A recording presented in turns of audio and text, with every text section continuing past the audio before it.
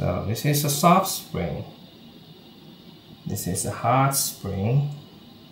You only need to adjust the thickness of the spring and also the height, number of the notches and how deep the notch will go in. You can control the stiffness of the torsional spring without using a real metal. Hi, in this video I'm going to show you how I design this 3D print torsional spring. You can use it as a clipping device and this one is the capo for the guitar.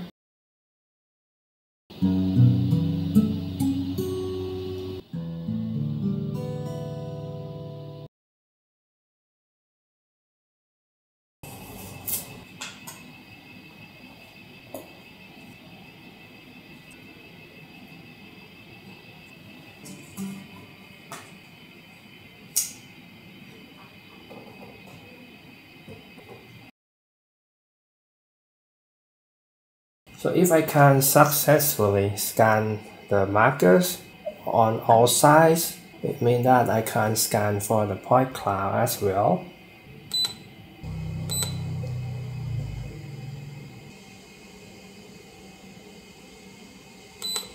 I start from this side, see if the scanner can see the other side.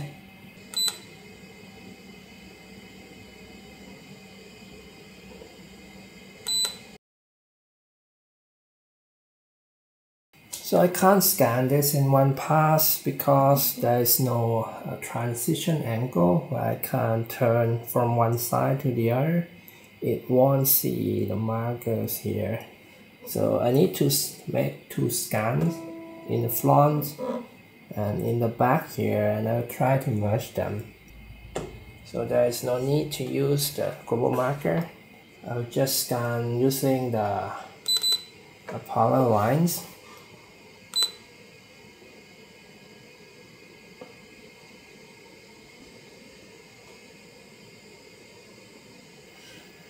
I'll try to stand the side as much as possible so that I can use it for alignment. This will be the overlap area. Okay, this would be the first scan. I try to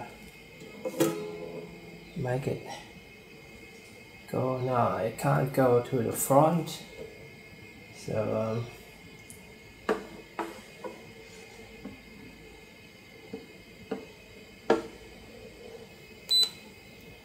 okay. Alright, let's fuse the point cloud. Fuse. Yeah, one thing that the Creality scan does very well is removing the marker. All the marker is removed so this is very good in this department. Alignment marker alignment manual this side right? This tree marker is in the same position. And place it here. So I need another one. It should be on the other side. So this will be the marker number three and you can try number four because we have uh, many marker but four is enough. Align it. So now you can align using the marker. It's seamless. You don't have to worry much about making the 3D scan in one pass because the Creality scan can merge almost any scan very effective when it does the merging. I'm going to mesh it uh, 1 million. Okay here's the result. Uh, next I'm going to export this uh, as a point cloud format and then uh, I align them in the CloudCompare. I'm going to change the color next I'm going to align it to the XY plane on the flat. Rotate along the z-axis. I'm going to use uh, the flat to align to the edge of my mirror. Registration, move bounding box center to origin. I'm going to save this as a LAS file format, then convert to RCP files, then uh, bring it into next Inventor. Okay, this is Autodesk Inventor. Uh, this is scan data. I will design the capo on this flat 1, 2, 3, 4 because it's larger. I offset this plane I'm going to crop a thin slice of the point cloud. So this will be the thin slice. Okay, you can notice that this uneven surface here is from the paper tape that I put on. Okay, this will be the sketch. Uh, next, I'm going to trace the profiles of the flat. It has a small slide curve. Okay, this will be vertical line. I'm going to draw uh, from here so it's made from the wood and it's not in uh, one single radius but I want to make it simple. I'm going to put it like this. I'm going to draw a handle.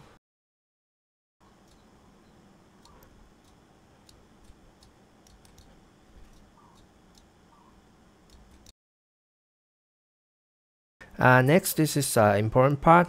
I'm going to create a pivot here and I'm going to uh, it. Uh, before I do that let me tangent this to line.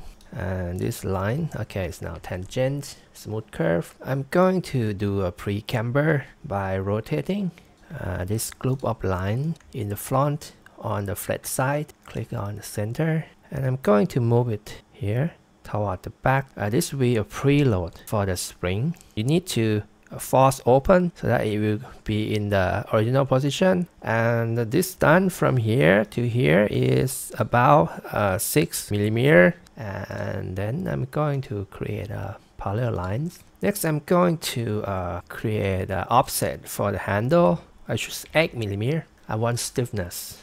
Let's close the loop. Okay next I'm going to do the same on this side 8 millimeters. So the spring has to be on the pivot, the center of the rotation. I'm going to offset this for 10 millimeters. If you make a thicker spring, so you require more force to uh, work on it. Uh, in this example, I'm going to use uh, 10 millimeters.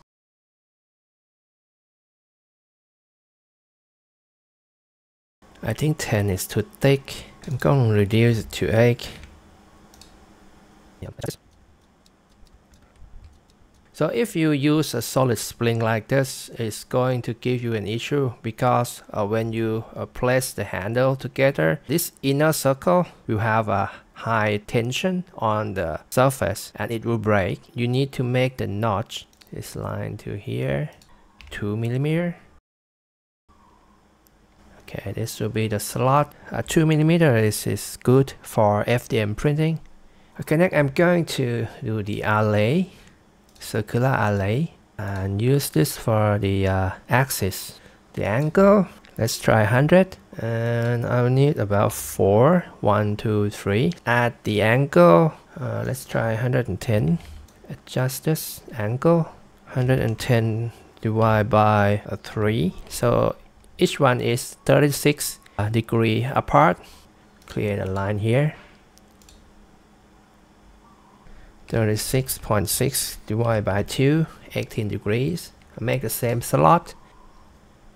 And then I'm going to do the same circular rotation circular array using this axis uh, for 110 degrees. There will be four of it. Okay this will create a zigzag pattern. So the minimum thickness will be uh, 3.5 millimeter. So the number of the notch that you put on the torsional spring will reflect the force that you require to, to move it. So if you put a more notch, it will be softer spring. And if you don't put any notch when you apply the force on the handle, there will be excessive amount of tension force on this side and it will uh, crack open the wall because you have uh, two or three layers of the wall. Okay, if you look at the spec sheet of the PETG filament, it shows here elongation at break on the XY plane about 9.3%. If you stretch it over 9.3%,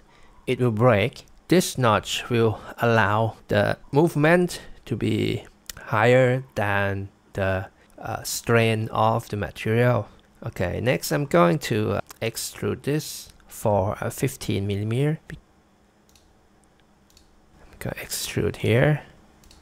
Okay, now you have a, a notch spring. Next, I'm going to do a cosmetic uh, by using the fillet command.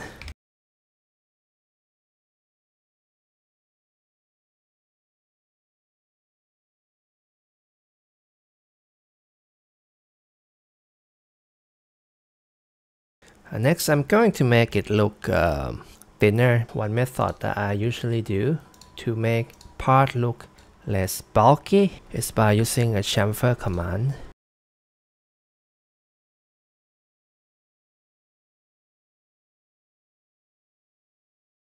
Next, I'm going to put it into a simulation. Okay, assign the materials, PET. So I fix one face here, fix, and then I will apply the force on the tip. Click on force, tip of the handle. I can use this for the direction. Try 1 kilograms, 10 newtons. I think the force that needed to apply on the cardboard will be 1 or 2 kilograms. Simulate it. Okay, let's check at the stress. Uh, we have von Mises here, uh, 24.95, which is about half of the maximum tensile strength of the PETG, 48 megapascal. So it's safe, it won't break at 1 kilograms. And if you look at the stress here, uh, tensile stress, it moved from the most outer wall into this groove, small groove here. So the deeper that you cut it in, the lower the stress it will be and the softer the spring will be if I do the animation. I think it's scale one by one. So you need to uh, push about one kilogram to be able to put this capo into the flat. So now everything is in the green zone about 15 megapascal. So it won't break but if you don't put any notch here, the inner wall will break. It will exceed 50 megapascal. Okay, let's check the displacement. This end will move 7.8 millimeter. In the early of the video, I already told you that I pre-camber this handle for 6 about 6 or 7 millimeter so this 1 kilogram of load will put it back into the original position this is how I make torsional spring using the FDM printer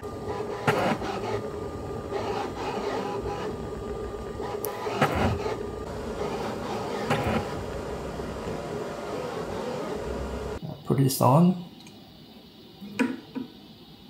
so if I move it down it's all placed the guitar string against the flats the torsional spring stiffness is okay